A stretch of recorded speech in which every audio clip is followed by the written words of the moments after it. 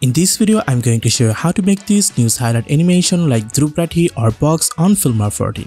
So first of all, we need a background. For this, go to the shape tool and select rectangle tool. Now add a shape like this. Now increase the size from here. Okay, then add a news cut into the upper track. But you can see the color is not matched. To match this, just select your rectangle tool and under the fill section, set your color from here.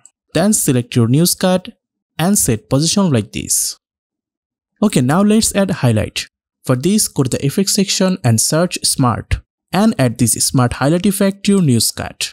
Then go some frame later and you can see our highlight is now showing. Now go to the effects section. Now select your highlight and place your position where you want to add highlight.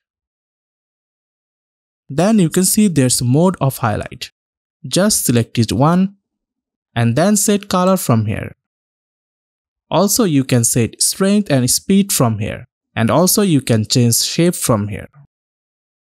Now let's check preview. So you can see our highlight is not showing. But if you want to add circle, then add this smart circle effect to this. And now like previous, set your circle position like here and also you can change your circle color, thickness, glow and shadow from the effects bar. So in this way you can make news highlight on Filmora 14. So hope you guys enjoy this video. If you want more video like this, please subscribe to my channel.